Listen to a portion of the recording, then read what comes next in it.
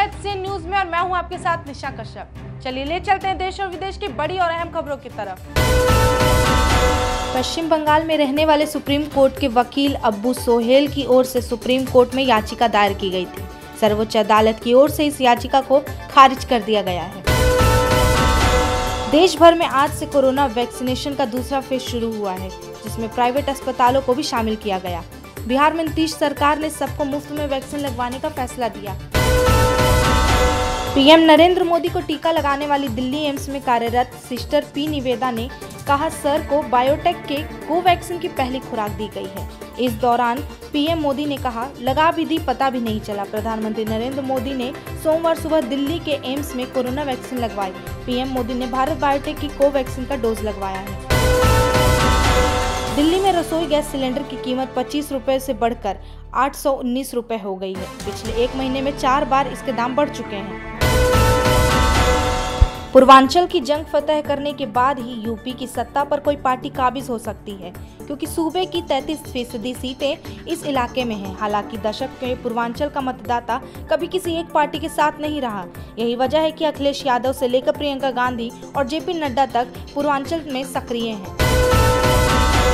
Central railway उन लोगों के लिए एक शानदार अवसर दे रही है जो इंडियन रेलवे के साथ ट्रेंड ऑपरेटिक्स के पद पर काम करना चाहते हैं। सेंट्रल रेलवे रिक्रूटमेंट सेल ने 2,532 पदों के लिए आधिकारिक सूचना भी जारी की है। प्रधानमंत्री नरेंद्र मोदी ने सोमवार को एक वेबिनार को संबोधित किया जिसमें बजट में कृषि क्षेत्र पर किस तरह फोकस रखा जाए इस बारे में उन्होंने चर्चा की। तीन दिन में तीन रिपोर्ट। पंजाब के मंत्री को स्वास्थ्य विभाग ने बताया पॉजिटिव, निजी लैब में रिपोर्ट आई नेगेटिव। छह महीने में ही सूखने लगी नैनी झील, बरसात में तोड़ दिया था तीस साल का रिकॉर्ड। विवादों से घिरे बिहार क्रिकेटर संघ, बीसीए ने भारतीय क्रिकेटर बोर्ड, बीसीसीआई से मंजूरी मिलने से पहले ही गैर मान्यता प्राप्त Bihar cricket league T twenty tournament के लिए नीलामी आयोजित करने का नया विवाद खड़ा कर दिया है। 23 जनवरी 2018 को पहली बार भारतीय प्रधानमंत्री नरेंद्र मोदी ने 2024-25 तक भारतीय अर्थव्यवस्था को 5 ट्रिलियन डॉलर तक पहुँचाने की अपनी महत्वाकांक्षी सपना को सार्वजनिक कर दिया है। भारतीय हॉकी टीम में कोरोना वायरस महामारी के कारण लंबे समय के बाद मैदान पर वापसी करते हुए जर्मनी को 6-1 से करारी शिकस्त दी। पूर्व भारतीय क्रिकेटर प्रवीण आमरे दिल्ली कैपिटल्स के सहायक कोच होंगे। उन्हें इंडियन प्रीमियर लीग के आगामी दो सीज़न के लिए नियुक्त किया गया है। बॉलीवुड के महानायक अमिताभ बच्चन ने अपने ताज़ा ब्लॉग में फैंस का आभार व्यक्त किया है। अमिताभ ने अपने नए ब्लॉग में कुछ तस्वीरें शेयर की हैं, जिनमें उनके कान पर एक टैप जैसा कुछ नज़र आ रहा है। The girl on the train film हाल ही में नेटफ्लिक्स पर रिलीज़ हुई है। इसमें परिणीति चोपड़ा के साथ अदिति राव हैदरी, कृति कुल्हारी और अविनाश तिवारी प्रमुख भूमिकाओं में नज़र आ रहे हैं। वरुण की निजी ज़िंदगी के बारे में बहुत कम लोग जानते हैं। हाल ही में एक इंटरव्यू के दौरान वह अपनी लव लाइफ को खुलकर बता रहे हैं। उन्होंने बताया कि किस तरह टीवी शो कसौटी ज़िंदगी की, का उनकी लव लाइफ में अहम योगदान रहा।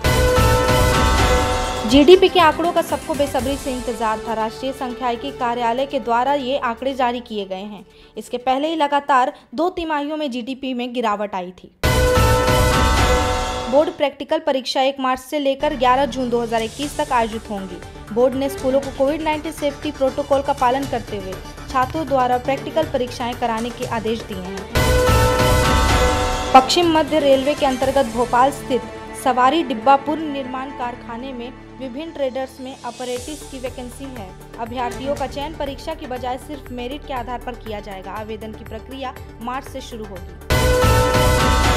टेलीग्राम में जुड़े ये दिलचस्प फीचर व्हाट्सएप को मिलेगी टक्कर। टेलीग्राम में कुछ नए फीचर्स आए हैं। इनमें खास ऑटो डिलीट का फीचर है। ये व्हाट्सएप के डिस्प्लेइंग मैसेजेस जैसे ही है, लेकिन ये थोड़ा अलग काम करता है। ड्रैगन का साउथ चाइना सी में लाइव फायर ड्रिल यूएस युद्धपोतों के सामने दागी सैकड़ों मिसाइलें। व्हाइट हाउस छोड़ने के बाद पहली बार सामने आए ट्रंप, कहा तीसरी बार लड़ सकते हैं चुनाव। सऊदी पत्रकार जमात खसोजी की हत्या पर अमेरिका रिपोर्ट ने आने के बाद पाकिस्तान ने सऊदी अरब का समर्थन किया है। आयुर्वेद में खान पान को लेकर कही इन बातों का पालन करने से न सिर्फ़ आपकी इम्यूनिटी मज़बूत होती है, बल्कि इससे आपका पेट भी कंट्रोल में रहता है। ब्रह्म मुहूर्त में उठने से होती है आयु में वृद्धि, साथ ही रोग से रहेंगे मुक्त। सुबह का समय लोगों की खुशहाल ज़िंदगी के लिए बहुत ही ज़रूरी होता है।